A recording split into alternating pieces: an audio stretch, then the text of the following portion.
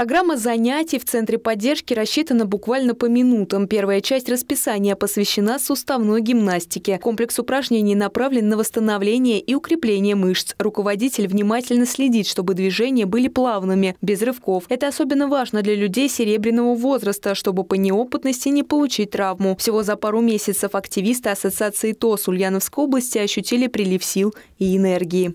Мы стали чувствовать себя намного физически намного, намного лучше, несмотря на то, что здесь не проводятся занятия силовой гимнастикой.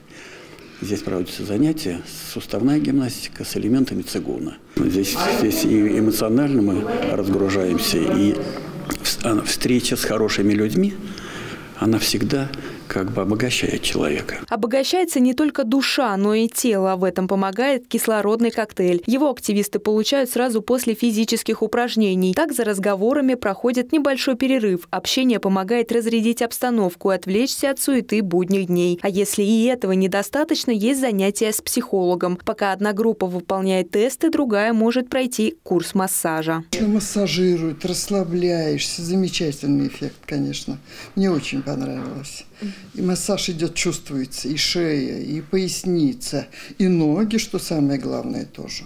Специальное оборудование для процедуры массажное кресло купили к открытию Центра поддержки. В планах докупить еще пару вариантов, чтобы подойти к вопросу оздоровления комплексно. Это одна из приоритетных задач Ассоциации ТОС Ульяновской области – дать возможность людям серебряного возраста активно заниматься любимым хобби, будь то спорт, или творчества. Открылся замечательный центр, в который ходит больше 300 человек уже.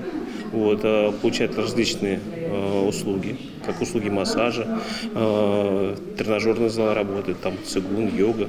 Люди довольны, оздоравливаются и просто уже не представляют, как можно жить без центра активного долголетия ТОС. Все занятия бесплатные. Приятный бонус, который получают все активисты центра – горячий ароматный хлеб, который выпекают в ТОСе «Мостовая Слобода». К праздникам расписание дополнит еще и тематические мастер-классы, где можно будет расписать имбирные пряники или самостоятельно испечь кулич к Пасхе.